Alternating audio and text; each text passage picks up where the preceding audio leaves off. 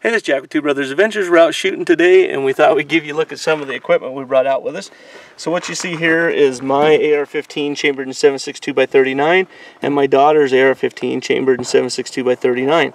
Um, what I want to point out, though, is that we both have the uh, primary arms micro red dot on these, and we I got the first one and put on my daughter's rifle, and we liked it so much, and I liked it so much that I bought one and put it on my rifle. Now this is just the um, the lower model one. This is the $89 one off of the primary arms site.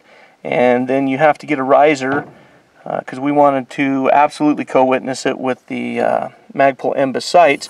So we had to get the riser and I think it's like $15, $20 to add on.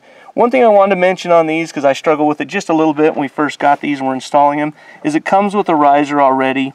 Uh, there's four screws that go through the bottom. Uh, probably too hard for you to see down in there. There's four screws and you have to take those off to put this riser on.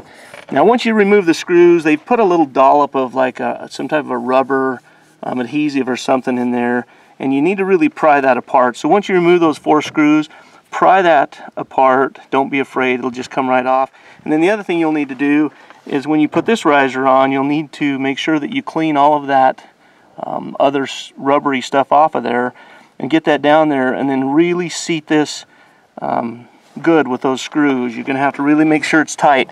Make sure you wiggle the base from the sight itself and make sure that there's no wiggle in between those. What I had to do is I had to basically like when you do the lugs on a car, start at one, go to the opposite side, go this one, go back to this one, and then start over again. This one, this one, this one, this one, and go down, down, down, down, and keep checking it until you get it really tight. That was the only frustrating thing to me, but once that I once I did that and got it really tight, got it on the rifle, um, I have had no problems with this holding zero on either one of our rifles. Like I say, these are 7.62 by 39s, so they have a little bit more recoil than like a 223 or some of your lighter calibers. Um, I highly recommend these red dots. They're not the you know the highest thing out there on the market, but they seem to really work fine. They have 10 or 11 uh, dot adjustment levels. 1 through 4 is basically night vision compatible. And then when you get out on a nice sunny day like this, 5 or 6 work great. And then you can move on up.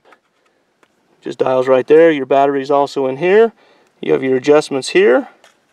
It comes with a nice little rubber um, case there. Alright, so I'm going to do my best to show you the dot there. Um, I hope you can see that. So that is the dot. It goes 1 through 11. And 1 through 4 are very light for night vision compatible purposes. And I typically, just out on a nice sunny weekend when I'm shooting, I run mine on about a 5 or a 6 and have no problems whatsoever. So there you go. So anyways, if you're looking for a, a, uh, red dot, especially a cheap one, you're just looking to get into the red dot market, or you just want to try something out, I highly recommend the Primary Arms Micro Dot.